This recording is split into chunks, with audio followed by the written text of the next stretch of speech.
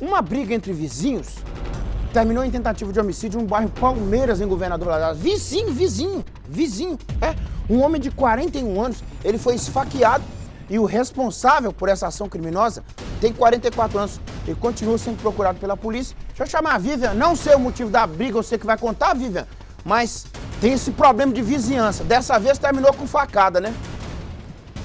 Exatamente, Nico. Uma briga acabou terminando com uma pessoa ferida, viu? Olha só, quando os militares chegaram ao local, encontraram o homem, né, a vítima, caída no chão com vários ferimentos. Segundo o boletim de ocorrência, a vítima estava em um bar com a companheira. Quando eles estavam voltando, né, ele entrou em casa e foi surpreendido pelo suspeito que estava no quintal do imóvel com uma canivete na mão e atingiu a vítima com vários golpes. A mulher começou a gritar desesperada e o suspeito fugiu nesse momento.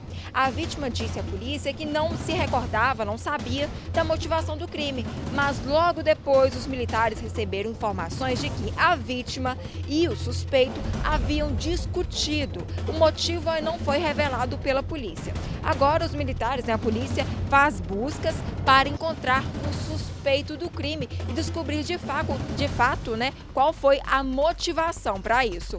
Volto com você, Nico. É, obrigado, Vivi, por sua informação. Que coisa, né, gente? Ah, brigaiada.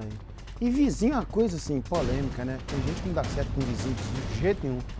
Você dá certo com a sua vizinhança, Jarão? Eu dou certo com a minha vizinhança. Não tem problema com ninguém, não, graças a Deus. Mas tem um samburrecido, né? Aí termina dessa forma aí. Obrigado, viu, Vivian Dias, minha vizinha de tela aqui. Não briga comigo, não. Vamos em paz que vai dar tudo certo. É.